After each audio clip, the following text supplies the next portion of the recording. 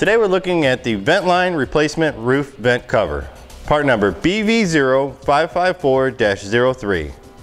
This replacement cover is a dome assembly for standard roof vents.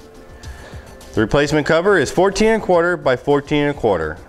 It is easy to install and operate and smoke and color.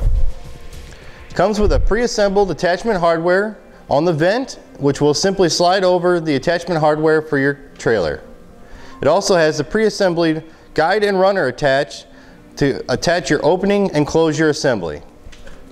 There you have it for our Ventline replacement cover, part number BV0554-03.